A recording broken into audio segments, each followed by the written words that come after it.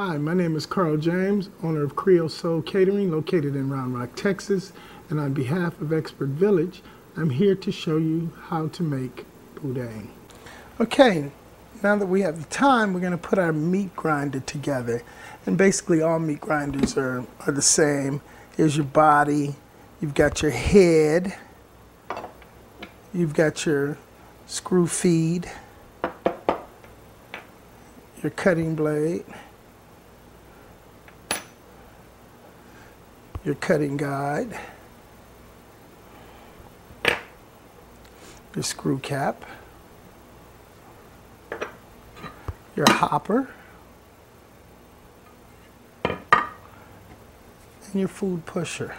So let's put that together here. Let's move this out to the side so you can see this.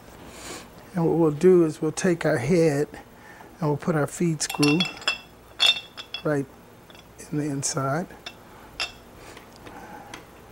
Pick up our cutting blade and that should fit right on here. There's a little square nut in there.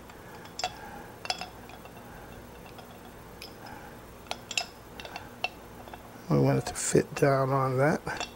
Let's see if we got it here. So it fits down on the little square nut. We'll put that back in. We'll take our guide. And these come in different sizes.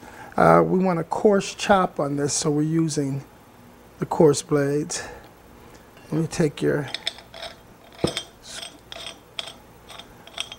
screw cap, screw it right on there. Let's push our grinder back out so we can see it. And this will insert right in here. And you can tighten your little knob and it keeps it set in place. Then the hopper will just sit on top, in which that's where you'll put your, um, we'll put our boudin mixture uh, to grind it. You can turn it this way, whichever is convenient with you. And the food pusher. And there you have it, our grinders put together. Let's move on to the next step. Hi, my name is Carl James, owner of Creole Soul Catering located in Round Rock, Texas. And on behalf of Expert Village, I'm here to show you how to make boudin.